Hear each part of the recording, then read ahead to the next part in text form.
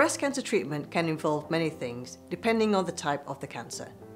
This may include surgery, chemotherapy, radiotherapy, and immunotherapy. If a breast cancer is hormone sensitive, you may also get tablets to take for anything between 5 to 10 years.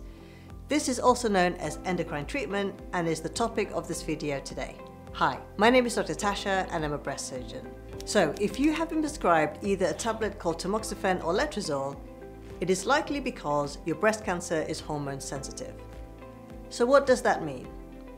Well, when the cancer is analysed, we will know whether it expresses the estrogen receptor or ER for short. If the cancer expresses it, it is called an estrogen receptor positive cancer. Its growth can be stimulated by the hormone estrogen. One of the ways we can minimize the risk of the cancer returning is instigating what we call endocrine treatment or tablet treatment. This usually involves prescribing either tamoxifen if you are premenopausal or letrozole if you are postmenopausal. So how do these drugs work? First, let's talk about tamoxifen.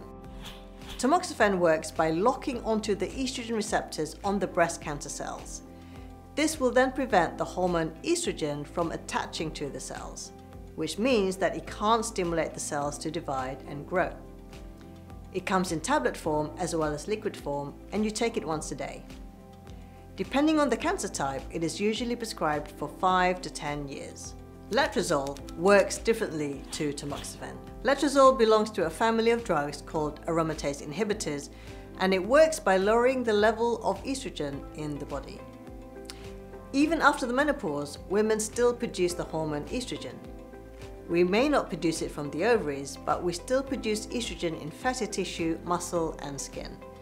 And this happens when other sex hormones called androgens are turned into estrogen and this process is facilitated by the enzyme aromatase.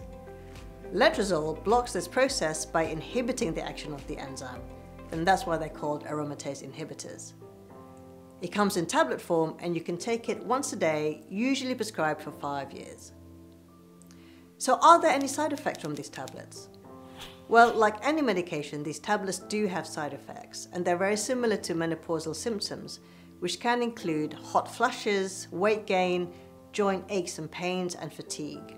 There can be some serious side effects, including blood clots and increased risk of womb cancer in the case of tamoxifen.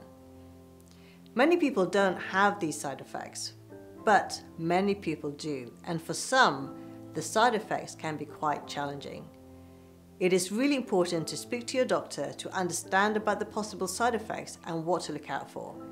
And if you are struggling, do have a discussion with your doctor about it.